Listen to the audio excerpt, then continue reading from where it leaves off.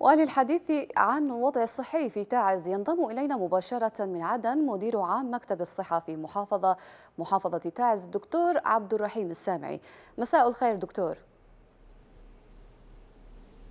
مساء الخير لك وللسادة المشاهدين. لنبدأ من التوجيهات الحكومية الأخيرة لرئيس الحكومة بن داغر بحول توفير الأدوية للمستشفيات. هل هذا كاف برأيك لمعالجة الكارثة الصحية التي تعانيها المحافظة؟ بالتأكيد التوجيه ليس كاف لأنه لدينا العديد من التوجيهات لدينا بنك آه، كبير آه، لديه مخزون كبير من التوجيهات والأوراق والتحويلات وبالتالي فإن ما يكفي هذه المحافظة هو أن تصل هذه الأدوية وهذه التوجيهات آه، تظهر على أرض الواقع. أنا ليس لدي علم إن كان فعلا قد حصل توجيه لكن ما أريد قوله أنه بعد ساعة بعد ساعات من الآن لدي لقاء مع دولة الأخ رئيس مجلس الوزراء آه، لطرح كل قضايا وآلام القطاع الصحي في تعز وسنضع ذلك بكل وضوح. هذا كان بطلب من آه، الأخ رئيس الوزراء أثناء لقائه مع ممثلي أحزاب اللقاء المشترك آه، ليلة البارحة. لكن لا أدري إن كانت فعلا قد صدرت توجيهات. لكن ما هو موجود على الواقع حتى الآن لم يتغير منذ ما يقرب من أكثر من عام من توقف موازنات المستشفيات والمراكز الصحية ومكاتب الصحة. وكذلك وصل الأمر إلى إغلاق هيئة مستشفى الثورة بجميع أقسامها ولم يتبقى إلا قسم الجراحة المدعوم من قبل منظمة نعم أستاذ دكتور يعني لماذا برأيك تأخرت الحكومة إلى هذه المرحلة من تفاقم المشكلة؟ يعني حتى تأخير إعداد الموازنة المتطلبة لتوفير الأدويات ولتجهيز المستشفيات لمواجهة هذه الكارثة الصحية ألم تتأخر؟ أنا أعتقد السؤال هذا يجب أن يوجه إلى الحكومة وإلى الأخ وزير الصحة وإلى السلطة المحلية الممثلة بالأخ محافظ المحافظة. عليهم أن يجيبوا على هذا السؤال لكي نستطيع نحن مواجهة المواطن المحتاج لهذه الخدمة. أنا في طريقي من تعز إلى عدن صباح هذا اليوم. في هذا الفجر كنت على تواصل مع أحد الأصدقاء لم يجد لأبيه سريرا يدخله. ارتفع لديه آه، السكر في الدم ودخل في غيبوبة ولم يجد سريرا واحدا داخل هذه المحافظة. التي يقطنها آه، أكثر من أربعة ملايين من البشر. وكانت الركيزة الأساسية لصمود الحكومة الشرعية والجيش الوطني والمقاومة. فهذا الجزاء الذي تأخذه هذه المحافظة أنا في اعتقادي أنه يجب أن يتغير. وعلى الحكومة أن تجيب على يعني هذا السؤال كيف يتغير؟ لماذا تأخر يعني دعم هذه المحافظة وخاصة فيما يخص القطاع الصحي؟ نعم دكتور إذا كنت تسمي لنا ما هو المطلوب الآن من الحكومة لمعالجة هذه المنظومة الصحية المتدهورة داخل المحافظة؟ أنا أعتقد أنه في مقدمة آه، هذه المطالب يأتي صرف رواتب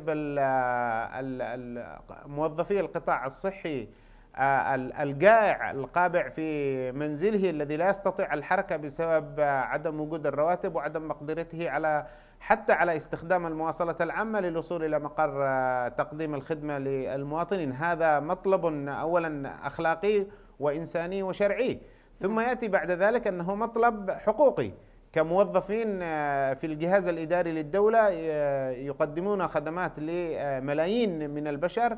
اليوم يطل علينا الشهر العاشر وهؤلاء الموظفين لم يستلموا رواتبهم. هذا هو المطلب الأساسي والأول. والمطلب الثاني هو عودة الموازنات التشغيلية والتي انقطعت منذ ما يقرب من عام ونصف عن المؤسسات الصحية والتي أدت إلى ما نحن عليه من وضع في إغلاق أكبر قلاع الصحة في الجمهورية وهي هيئة مستشفى الثورة في تعز وإغلاق نعم كافة الأقسام في المستشفيات الأخرى عدا قسم الغسيل الكلوي في الجمهوري الذي أيضا مدعوم من منظمة أطباء بلا حدود؟ هذه المنظمة التي أقدم لها الشكر الجزيل والتي لم تترك مدينة تعز في أحلك الظروف وتعمل بوتيرة عالية حتى هذه آه، اللحظة. وثم تأتي بعد ذلك المطالبات الأخرى في إنعاش القطاع الصحي ورفده بالأجهزة التي تم تدميرها. نحن كما نعرف أننا ورثنا آه، قطاع صحي متهالك ومنهار من النظام السابق ومن وبالتالي فإن هذه السنتين أو الثلاث سنوات من الحرب قد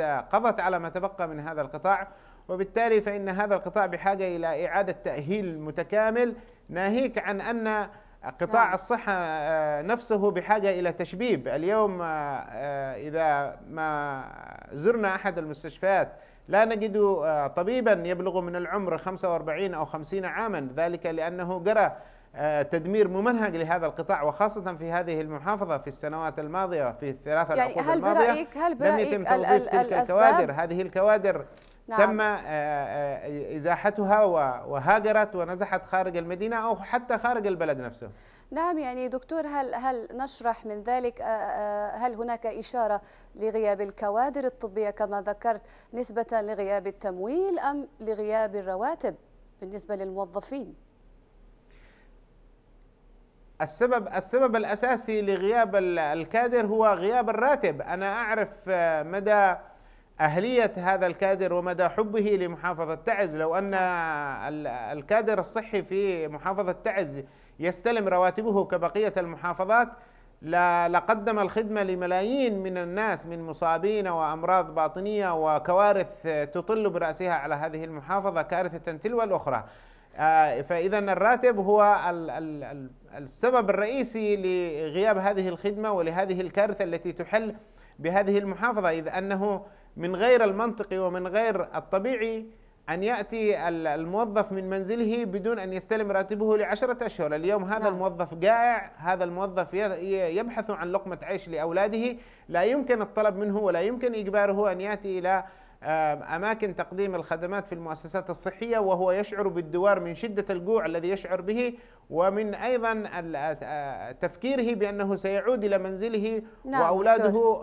مفتوحي الأفواه من شدة الجوع ماذا يقدم لهم نعم دكتور. عشرة أشهر لم يستلموا رواتب ما الذي يمكن أن ننتظره من هذا ال ال ال وصلت الفكرة. القطاع ومن موظفي هذا القطاع الجائع اليوم بحاجة إلى إلى إلى إغاثة نعم. بدلا من أن يقدمون الإغاثة ويبلسمون جروح المواطنين والمصابين والأمراض نعم، اليوم نعم هذا القطاع بحاجة إلى إغاثة فعلا بإطلاق راتبه وإطلاق الموازنة التشغيلية للمؤسسات الصحية في المحافظة كافة لقد أشرت دكتور عبد الرحيم إلى ظاهرة إغلاق المستشفيات فهل لديكم إحصائية بعدد المستشفيات المغلقة حاليا داخل المحافظة؟ أنا سبقت وسئلت نفس السؤال من من قناتكم الموقرة بعدد المستشفيات المغلقة. نعم. وأجبت بالتالي أن المستشفيات كهياكل مفتوحة الأبواب وموجودة كغرف وأبواب وجدران. لكن هذه المستشفيات لا تقدم خدمة. يعني اليوم عندما نقول أن المستشفى الثورة أغلقت أبوابها أمام المواطنين لا يعني بالمفهوم أنها أغلقت الباب بالأقفال ولكنها غير قادرة على تقديم الخدمات وما يقدم من خدمات داخل هذه المستشفى هو قسم الطوارئ المدعوم من منظمة أطباء بلا حدود فإذا هذا ينطبق على بقية المستشفيات المفتوحة أبوابها كمستشفيات وهياكل وغرف ومباني لكن غير قادر على تقديم الخدمة لأنه نعم.